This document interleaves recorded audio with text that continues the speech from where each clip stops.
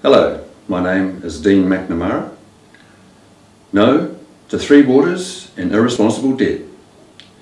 My principal place of residence is not in the Lakes Murchison Ward area. After two terms of serving in the Waimea Moutere Ward, I have decided to seek re-election in the Nelson Lakes Murchison Ward.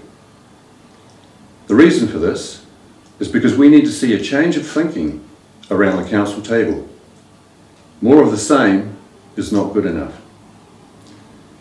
I have been frustrated by the lack of fiscal responsibility that sees us on a debt trajectory of $300 million this coming term.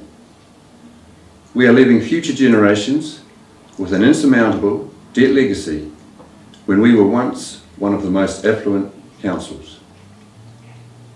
Getting rid of Waimea Dam debt is not a good enough reason to sign up for the Three Waters reform. Two wrongs don't make a right. And there is no assurance that our debt will not stay tagged to Tasman residents.